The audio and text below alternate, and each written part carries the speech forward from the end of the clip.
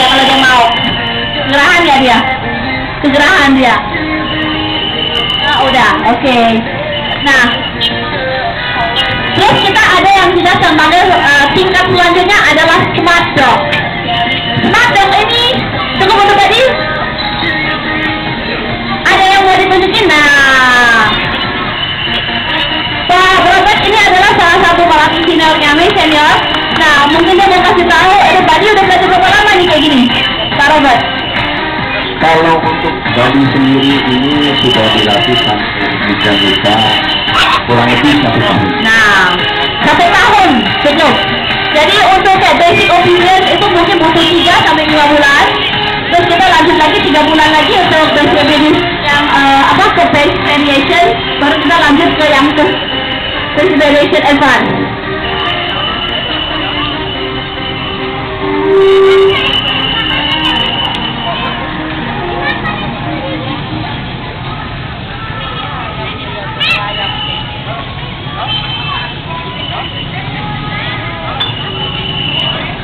Bisa ini dengan mic anjing golden retriever juga. Ini dia udah bisa kombinasi nih udah macam-macam nih udah. Jadi udah bukan bisa A B C D E, dia udah bisa merangkai satu syair. Seperti seperti itu. Nah, ini adalah Ini namanya dengan ini gada gada pincang dia. berlagak pincang. Ya, kita ganti pincang kaki kiri. Nanti habis ini kita suruh ngamen nanti di pinggir jalan. Kasih kotak saja cukup ya.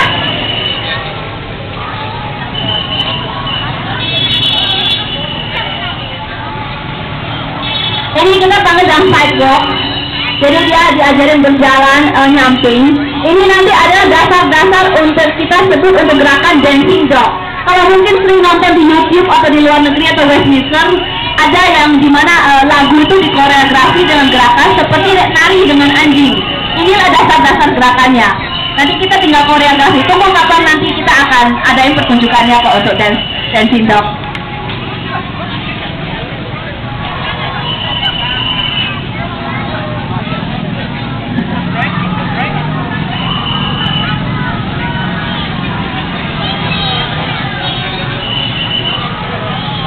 Pintar sekali si Mike. Uh, tadi sore kita sedikit telat karena memang eh, cuaca masih cukup hangat dan anjingnya kadang-kadang kalau terlalu panas juga gerah karena biasa mereka posisi ada di puncak.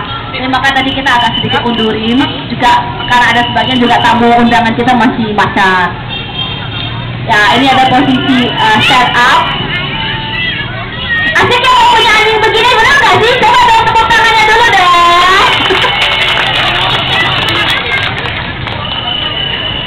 Disuruh macam-macam jadinya kalau di rumah.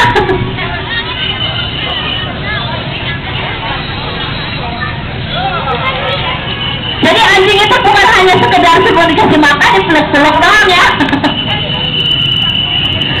Good boy, Mike. Nah, berikutnya kita ke yang jurusan yang saya bilang S1. S1 itu terdiri dari macam-macam. Bisa engineering, bisa accounting, bisa juga communication. Bahasa Inggris juga bisa. Nah, ini salah satu variannya. Yang pertama nanti kita maunya yang S1-nya mau S1 apa dulu nih? Mau SA, SE, terserah.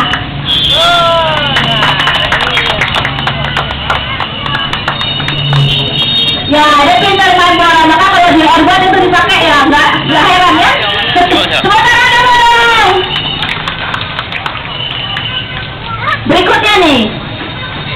Sekarang ini lagi masa-masa apa um, warming nih, ada ada yang kita panggil dengan reduce, reuse, recycle. Jadi jangan hanya kitanya aja yang bisa, tapi anjingnya juga bisa reduce, reuse, recycle. Dan coba itu buang sampah.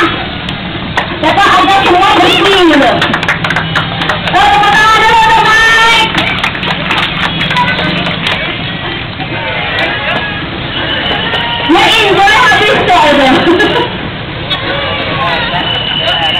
Yeah.